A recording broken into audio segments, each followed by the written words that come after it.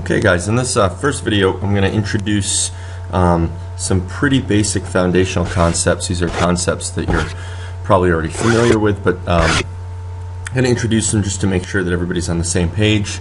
Um, we'll, we'll, build on these concepts as the year goes on. So um, start off with the concept of, we have three concepts. The first one is going to be position. The second one is displacement. And the third is velocity. So, as I said, I suspect you guys already know something about these three different concepts, but let's go into them in a little bit of detail. Position, this is really pretty straightforward. As the name implies, this is just the location of something, some object or particle in space. Um, we typically give position some value in terms of it could be in terms of x, it could be in terms of y, it could be in terms of z if it's along the x or y or z axis. Um, if it's along a radius, we might give it a value of r for some sort of radial position away from the center if it's um, if it's along a radius. Uh, so th these are common uh, symbols that we'll use to, to represent position in, in, in, in, in different ways. Uh, displacement, um, this is similar to another concept called distance, but it's a little bit different. The, the displacement is, is simply the change in position. So if it's the change in position along an x-axis, we would call that delta x. If it's a change in position along a y-axis, that's delta y, etc. Um, the distinction between displacement and distance, to, to remind you, is this. Imagine if I were to run one mile east and then turn around and run one mile back west. Um, I might ask you, uh, what distance did I did I cover? You would say two miles. I went one mile east and then one mile west. But if I asked you what's my displacement, you'd have to say zero because my starting position and my ending position are the same. I return to my starting position. So um, there's a sense in which direction is relevant when we discuss displacement, whereas when we think of position or when we think of distance, the direction we move is, is not relevant. A quick word on, on this delta x. I want, I want to talk a little bit about notation, specifically the notation that your book uses. Your book defines, the book we're using, defines delta x as x minus x naught. So if we're delta y, it would be y minus y naught. Um, I just want to say a quick word about this this notation here. Uh, this x with the subindex 0, this means x at some point we're calling the zero point. Um, usually we're going to be thinking about x position as a function of time. So what this subindex means is the position x at time 0. Um, now this is a, this is the same thing as what, uh, for those of you who took physics with me last year, our, this is exactly the same thing as what our book was using last year, which was delta x equals x final minus x initial. It's the same thing, only here we're saying x, this is essentially, you could think of it as x at time t minus x at time 0. It's the same idea, final minus initial, but um, slightly different notation. And this is this little 0 here, this would be known, this would be called, we would say this x and then the zero is called naught, N-A-U-G-H-T, x naught. So if you hear me say x naught, I'm referring to this. Um, then velocity, let's think about what that is. That's similar to speed, but um, again, uh, it, direction is relevant. So if I went one mile east and one mile west, my displacement is zero. So my velocity, we would say, is zero. Um, in other words, we define velocity, which by the way is abbreviated with a v, we say that v is equal to the change in position delta x over the change in time delta t. We could rewrite that x minus x naught divided by t minus t naught. And this is first of many equations of significance, so I'll go ahead and uh, put a little box around it. That means that this is an important equation. We'll use this equation quite a bit. All right, so three uh, Again, pretty straightforward concepts. Let's let's let's unpack this a little more. Let's go into a little bit more detail. Um, maybe a good way to think about it would be do an example. Uh, imagine that I've got a car here moving along the road, and we can think of the road as sort of an x-axis. So here's my car. Here it is. I'll have to excuse my drawings. That's my car. And it's moving here along this x-axis. We, um, we, in, in, other words, we could think of this right here. This would be, we, this is our starting position. This would be x naught. And maybe we'd like to know where along our road, our x-axis, the car is um, at any given point in time, right? We'd like to know where it is at, you know, at a certain point in time. And a, nice way to do that would be to have an expression that gives us the position as a function of time. And so let's make one up. Let's say that the position of the car x is given by the equation 2 minus 4t plus 2t squared. And so here you can see we've got an expression that will now allow us to find, just this here, this will allow us to find the position x as a function of time t. And you can see the t's working in two different terms here. One's squared, one's not. What does that mean? Uh, we'll unpack it here in a little, a little bit of detail. Um, maybe the first thing to do give us a sense for how this car is moving over time, where, where it is, would be just to create a table of values. This is a pretty low-tech way of, of um, you know, thinking about how this thing's moving. So let's go ahead. We could make a table of values. Um, so maybe we've got, uh, we'll plug in a variety of times and then we'll look at the x's at those times. So um, Okay, let's see, we could say at time zero. Where is the car at time zero? In other words, what is x naught?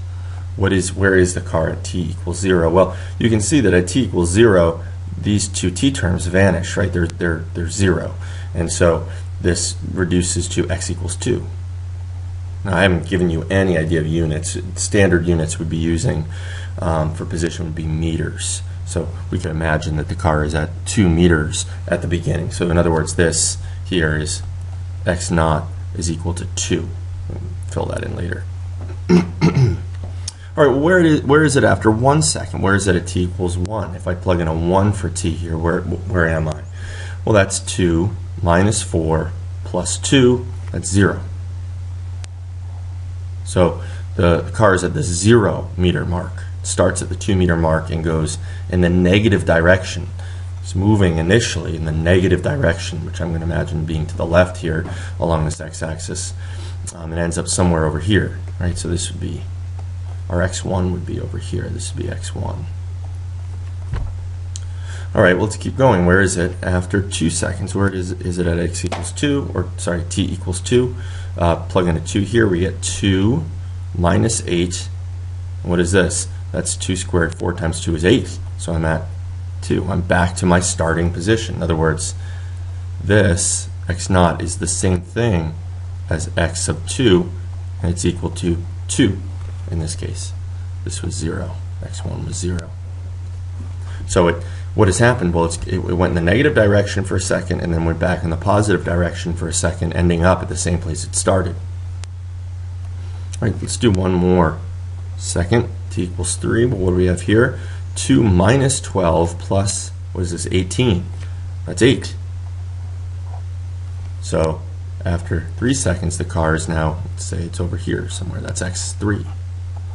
And that's equal to 8. These are positive, of course. Let me just put a little plus there to indicate the direction of the axis. And so now we have the positions for three different seconds, right? It goes negative direction, positive direction, and then positive direction again to end up at 8 after 3 seconds. It gives us some sense of how this thing is moving, at least for the first 3 seconds of its motion. So we've got positions here. The next thing that might be interesting to look at is could we could we determine its displacement for these three seconds? Could we go ahead and figure out how is this thing getting displaced over these three seconds? So let's we can maybe make a couple other little uh, table table values here. Let's imagine, let's try to see if we can figure out the delta x over a variety of intervals. So let's say we've got, uh, we're going to come up with a couple different, a few different time intervals and let's see what the delta x is for those time intervals. So let's, let's start 0 to 1. what is the displacement 0 to 1? Well, that's x. Remember how we define displacement, x minus x naught. Well, x at time 1 is 0. x at x, x naught is this, 2, positive 2. So that's 2, sorry, 0 minus 2, which is negative 2. Right? So for the first second, the displacement is negative 2, which makes sense. We started at positive 2 and we ended at 0 in that first second. So we went 2 units, 2 meters perhaps, in the negative direction.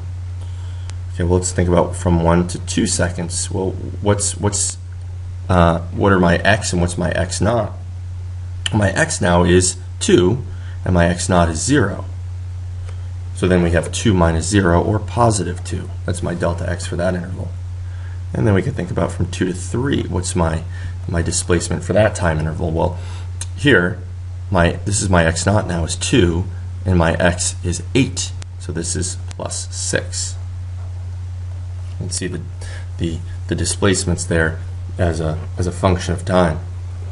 How about this? What if I asked you my delta t for 1, or sorry, from 0 to 2 seconds? What if I thought about the that whole two second interval. What's my what's my delta x there? Well, I started at zero at, at time equals zero, and at time equals two, right? At time equals two, I'm back at that two meter mark. In other words, my displacement there is zero. I haven't, my position doesn't change between these two time intervals. Um, how about for the entire thing, zero to three seconds, what's my displacement? Well, that's my final eight minus 2, that's plus 6 for the entire interval. So hopefully that makes some sense how I was able, from these position coordinates, I was able to determine the displacement over those, those same time intervals. Um, could do one more. Let's, let's add in one more column here. And we could think about the velocity. Now I've got to say a word about this before we do that. Let's go back to this velocity equation we had here. This is the velocity which is a change in a position over a change in time. So if we're going to calculate velocity, what are we going to do? We're going to take um, uh, these, these x values here, these displacement values, and we're going to divide them by times. I want to point out something that, that maybe is, is pretty obvious to you, but when you do this, what are you actually calculating? Well, you're calculating the, the change in position over some finite time interval. Now, I want to point out that that does not let us know the velocity at any moment of time. All it allows us to calculate, in fact, is an average velocity. So what I'm going to do here is I'm going to put a bar over this v. And that bar, I think you know, indicates that this gives us an average velocity. It doesn't give us the velocity at any moment. In other words, it doesn't allow us to figure out an instantaneous velocity. And we'll discuss in the next video how you might find the instantaneous velocity. But let's see. So here's our equation, delta x over delta t. So let's go ahead for our car and figure out the average velocities for these time intervals. Well, this delta x is negative 2 over 1 second. That's negative 2. And let's say it's meters per second. Well, 1 to 2 is positive 2 over 1 second. That's positive 2 meters per second. 2 to 3 seconds, it's positive 6 meters in 1 second. That's positive 6 meters per second. And how about for the first 2 seconds? What's the average velocity for that interval? Well, the delta x is 0, so the average velocity is 0. And then for the entire trip, well, it's 6 over 3 seconds. That's positive 2 in whatever our units are, meters per second perhaps. All right, so that's a little bit here. Um, hopefully this made sense using this example of this car moving um, that gives us some idea of how this thing is moving in terms of first of all its position its displacement and then finally its velocity. Uh, we might make note of the fact that the velocity here is changing with respect to time. I haven't discussed that yet but um, that'll come a little bit later. Uh, next video we'll think about a little bit more about velocity and we'll think about calculating the instantaneous velocity